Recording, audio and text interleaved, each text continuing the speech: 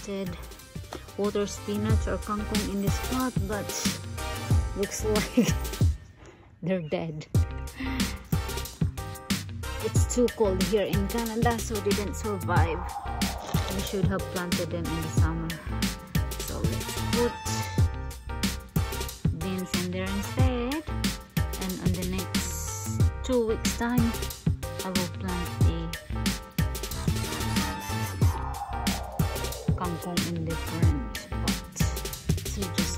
just one, pinch it like that, and then in one week or two weeks they will start to sprout. There you go. Alright, our beans is coming up. Go, beans, beans, newly sprouted beans.